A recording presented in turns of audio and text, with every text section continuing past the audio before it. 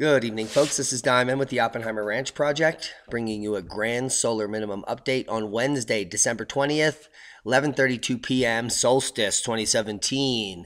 These scientists say cosmic radiation has effect on climate change. That would be me and us. Uh, but they're not convinced here at this particular place. Not everyone is convinced. Global warming alarmist much? We're convinced winter storm hits British Columbia and Alberta, leaving two dead, 75,000 without power. That's a boom. Heavy snow and freezing rain caused extensive damage to the power lines across British Columbia and Alberta, Canada on December 19, 2017, leaving 75,000 without power. At least two people were killed somewhere in Alberta. Calgary begins digging out after record snowfall causing dozens of collisions. As much as 31 centimeters of snow fell across Calgary since Tuesday afternoon, creating commuter headaches and leaving roads and sidewalks dangerously icy. The storm broke the previous record of 11.7 centimeters, almost tripling it. Boom! Back in 1953. 1953. Nothing in particular that's uh, solar, but uh, tripling Calgary snowfall was part of the larger system that blanketed much of southwestern Alberta. Beaver Mines, Pincher Creek getting as much as 60 centimeters. Newcastle Ski Resort, 40 centimeters. Heads up. That is a lot of snow equipment. Grand solar minimum much? Well, this is cosmic ray flux, and you're totally fluxed if you live in Hawaii and you think you're going to tough it out for the grand solar minimum, we have bad news for you. Big Island remains under flash flood warnings as heavy rains fall. These are 50 year floods, continuous rains, destroying the island. I'll let you look at these links. We got to get through it. Let me talk about with pineapple and sugar production gone, Hawaii weighs its agricultural future. Guys, I'll leave you links to this. It'll be down in the description, which is down in the left here where it says show more. Click that. This article says that uh, there is no more agriculture left in Hawaii. In fact, tens of thousands of abandoned acres of farmland lie fallow. 90% of agriculture is missing and it's all shut down.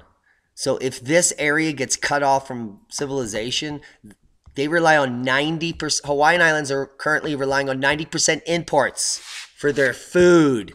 Heads up, Hawaii. Death toll rises to 46 as tropical depression Vinta nears the Philippines. Tropical storm Kai-Tak threatens Vietnam and Malaysia.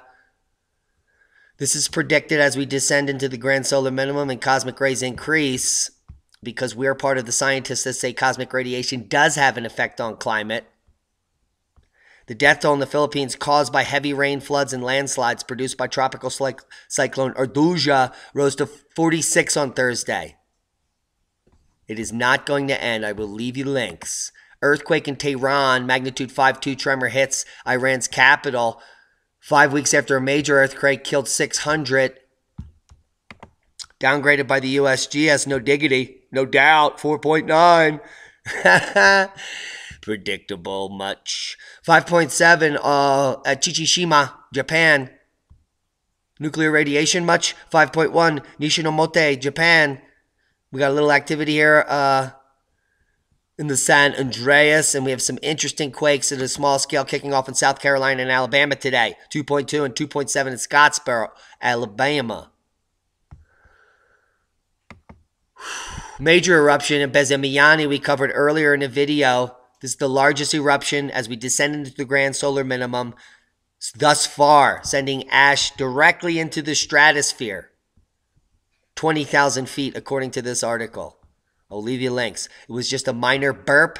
The activity has uh, quieted, and the aviation alert is down to orange. Volcanic update today Agung, Fuego, Popocatépetl, and Sabancaya all smoking. Astronomers are perplexed by a weird string at the center of our galaxy near a black hole. Well, there's no black hole because black holes can't be seen, but we can certainly see this rope here, guys. If you follow the electric universe, you should check out the Thunderbolts project. This is a Birkeland current. This plasma filament here, take a look at these Z pinches. This is a star formation Z pinches. These little dots are stars forming in the Birkeland current, as predicted by the electric universe theory, which we can see here, unlike a black hole, which is imaginary. This Birkeland current, this plasma filament, is real, and it's really making stars. Yay! Electric universe. Proven. Solar activity cycle falls to the bottom Bottom, bottom, 1.5 years earlier than expected. Boom!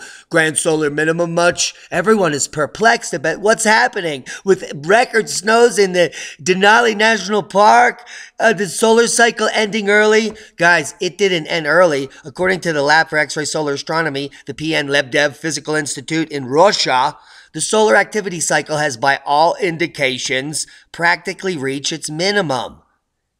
What this is really saying is that 1.5 years before the actual minimum, we've reached the lowest total solar irradiance, beating last year's um, 2009 numbers.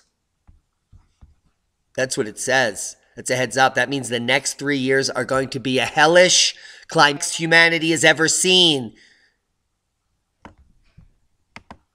It's pretty simple math. We're going to get into it at the end of the video. We're almost there. I'm going to do some history because history, the past is the key to the future. History's greatest El Nino may have caused the severe 19th century famine. An exceptionally strong grand El Nino, which was a minor minimum. This is not a grand solar minimum. This is just a major minima called the Gleissberg minima. We're talking cycle 12 here, exactly here in the drop down, the very beginning of the Gleissberg minimum, which is what we're heading into in the next three years. Tens of millions perished. What may be the greatest grand solar minimum in modern history, because it's the last one ever identified, caused record breaking droughts that helped trigger disastrous famines likely killing more than 50 million people globally, a new study finds. Well, we've known about it for years here. And from 1876 to 1878, it was cold and there were crop failures, and 50 million people died right here at the very beginning of the Gleissberg minimum, which is right where we're going to be for the next three years. It's a heads up. I'll leave you links to this article. The past is the key to the future. You better read up on this because this is what you're living. Let's get to the facts. Here's your white Christmas forecast. This is the current snowfall. The snow cover totals current. Hudson Bay is frozen over. 98%. This will close up in a few days. The entire Arctic is frozen one day before winter solstice. There is no lack of ice. There's no melting Arctic. There will be record Arctic ice this year. I think it will be completely frozen near 60 degrees by March. We have 95% snow cover north of 45.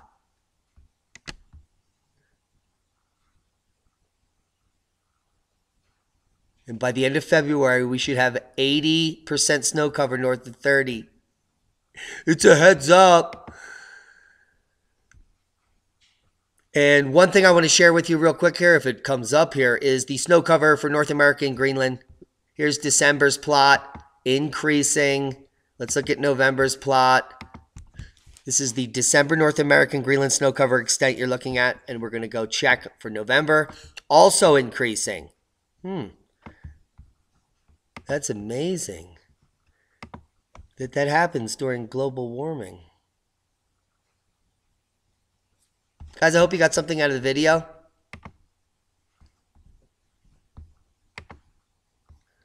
Cosmic ray flux is increasing. If you're in the Hawaiian Islands, it's a heads up. You may think of uh, the amount of food shortage you're going to have if you're cut off from the rest of us. Uh, 90% of your food is being imported. We have record snow in Calgary that's nonstop. The albedo effect is in full effect.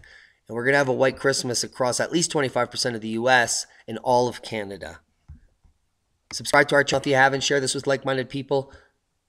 This is our 95th consecutive episode. It will be our 100th episode on Christmas Day. I hope you watch. Be safe, everybody.